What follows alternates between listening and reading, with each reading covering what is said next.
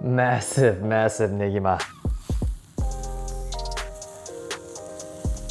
And the stuffing.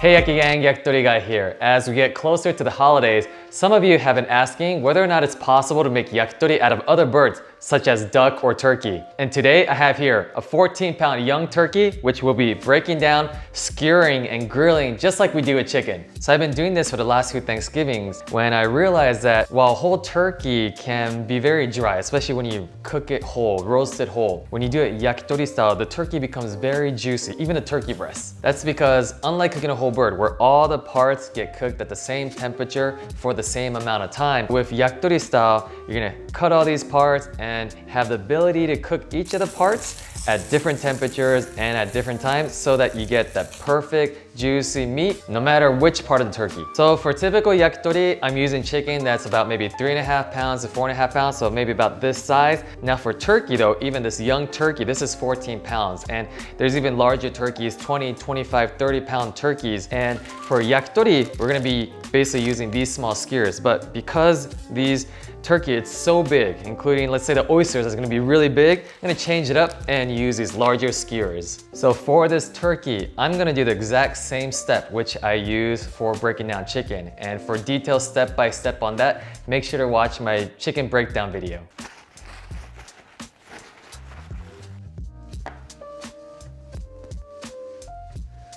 Giant, giant bonjiri. Oh my gosh, this, even the, the meat around here it's super thick. Go for the legs. It's massive, massive, massive. Yeah, at 14 pounds, this is basically three times the weight of just the chicken that I handle here.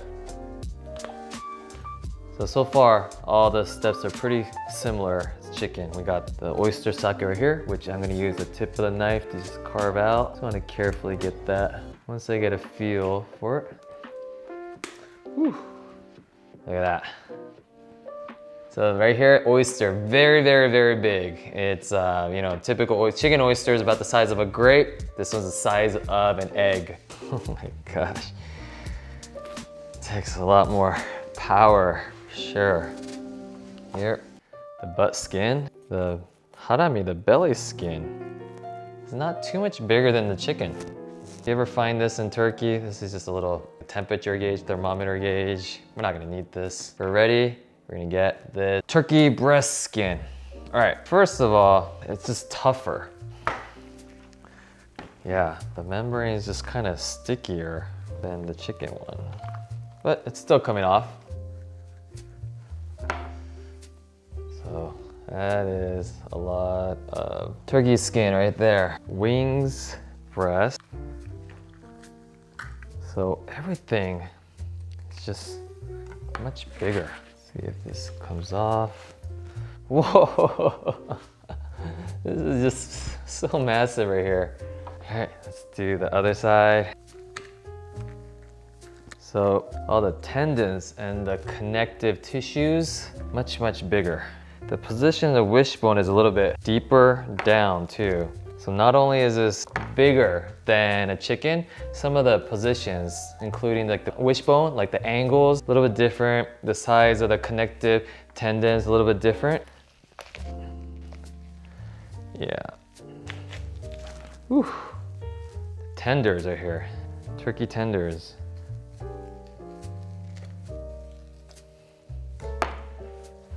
Size and just the shape of the tenders pretty different from the chicken right here. Oh, this is a massive, massive, okay. Basically like a banana, this turkey tender is just very massive. Normally I would do the chest cartilage, but in the case of this turkey, it's very small and too hard, so I'm not gonna, I'm not gonna use it. Again, I've noticed that skin is just so much tougher to pull on this. I'm really afraid of it might rip apart some of the meats that I need. So normally I would go for this back skin, but I don't I don't want to rip it. It might destroy some of the meat that I want, like this the shoulder meat. So I'm gonna leave this back skin on and just go straight for this, the shoulder meat, back meat. I'll leave the skin on, carving across. So this is pretty good. This is a, a big piece of shoulder meat. The skin's still on, that'll be good for yakitori. And right here, not really much neck left. Carcass here, we make some nice turkey stock. Not much of this neck, but maybe, maybe we get some of this meat off. Got the neck, put this in here. Here it is, all the turkey parts broken down, similar to the chicken style, and let's skewer these up. I'm gonna start with tenders here. Reminds me of plantains. I wanted to get these long skewers very thick, mainly because I just wanted to cut these not in small yakitori bites, but it's the same style, the same method that I do with yakitori. So if this is chicken, tenders are gonna be cut into these four pieces. Keep it the same. That way, very easy. Here we go. All right, let's see. Let's go with these skins here. For the yakitori, each of these skins are about an inch wide. These are gonna be about maybe an inch and a half wide, so it's in balance with the size of everything else. So let's see how this is gonna work because turkey skin is just, it's a very tough skin. So this skewer is already, the tip is already bent. So we'll see how much more I'm gonna be able to skewer through this or can't use it anymore. Also the key to skin is just go quick. The longer you're at it, the tip of the skewer just gets very soggy. That's when it's gonna be tough to poke through. And with this skin skewer, expectation is not for one person to get this skewer. I would, after you cook it, probably just split this up. oh my gosh, look at this. If you love turkey skin, or just any sort of poultry skin, this is one massive skewer here. A little bit of this butt skin, harami, something like this.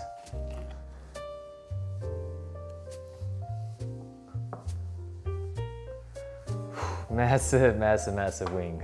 Take these breasts.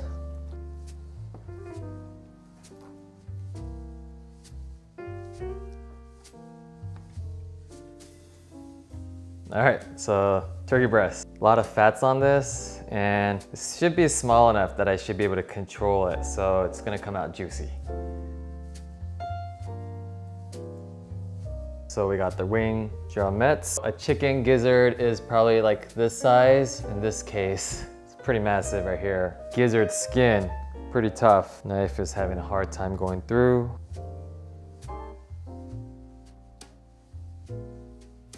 Gizzard.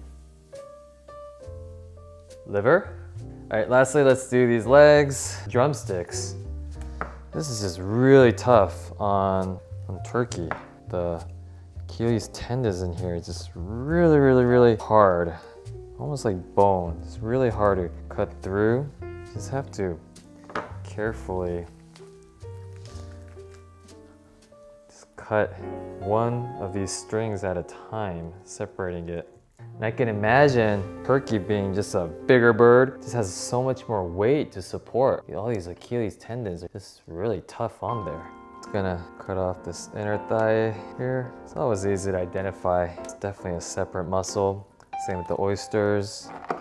Look at these oysters, it's huge. And make my favorite, the inner thigh pieces and the oyster. Massive, massive oysters right here. And for chicken, I'll be using regular onions. But for these large, large turkey thighs, I wanted to go something a little bit bigger. Now we can get Tokyo Negi. Tokyo Negi is a big fat Japanese onions, but instead I wanted to get something that maybe it's easier for most of you guys to get. So these, we have leeks here. I guess these, I can throw it into the soup. Pretty similar to Tokyo Negi. These look like regular negima until you realize these are regular skewers. Giant, giant, giant turkey negima. So because on these turkey drumsticks, these Achilles tendons they're just so tough, because I'm just gonna grill this as is. Once it cooks up, I think these will just peel off and they'll be easy to eat. But till then, it's really hard to skewer. This is, this is the, I don't care too much about this meat part right here. All right, so that's it. These are all the skewers from one whole turkey. Now I wanted to do a little bit sort of bonus skewers where I have made some stuffing.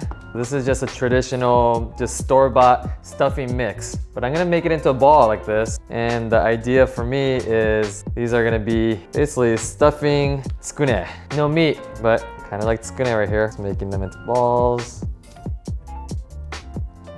All right, so now that we got all the turkey pieces, including the stuffing tsukune, let's get this on the grill.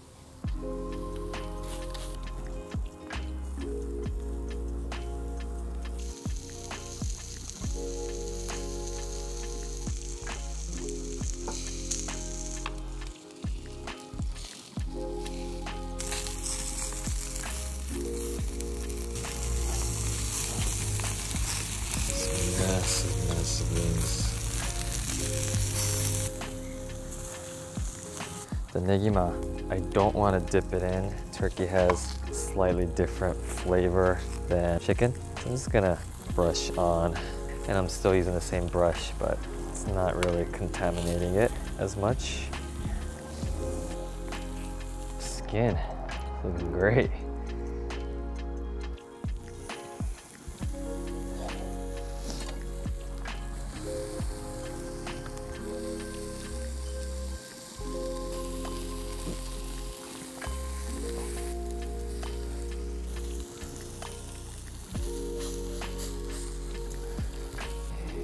This is one massive oyster right here. Let's go. Has a bite. Definitely like flavor. Definitely better than any roasted turkey, like oven turkey. Way better. Mm. Turkey breast. Should be super dry, but this is the yaki turkey, yakitori version of turkey breast. Still gonna be a little bit more dry feeling than the thigh, but I haven't put any gravy or anything on it. Flavorful, soft. This is the way to go.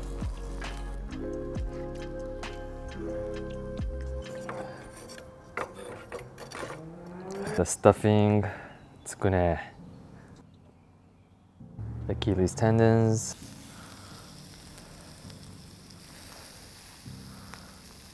Stuffing, tsukune.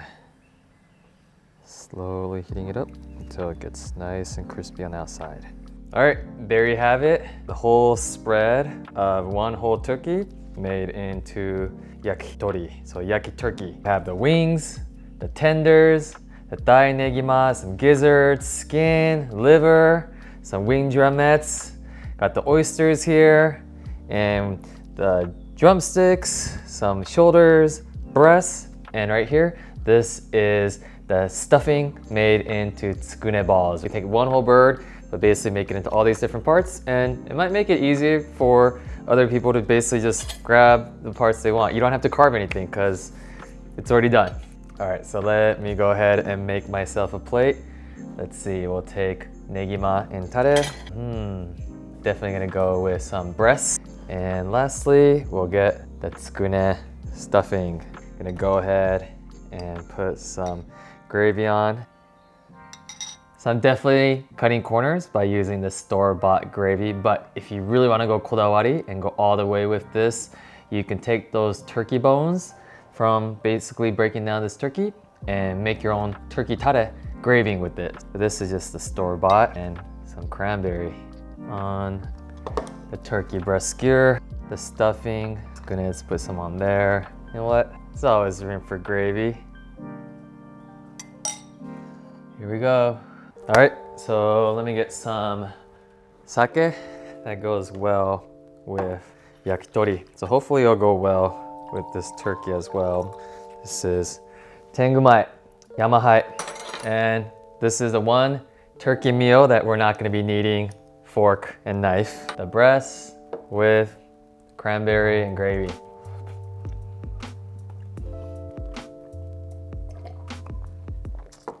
So it's the flavors of Thanksgiving that we're all familiar with. Got that gravy, cranberry sauce, but with that yakitori smoke. So if you're into yakitori, as you have been if you're watching the channel for this past year, and just want to try something different with your Thanksgiving this year. Instead of that whole turkey from the oven, where you gotta carve and, and fight over all the pieces, this year you can basically fight over which skewer you want.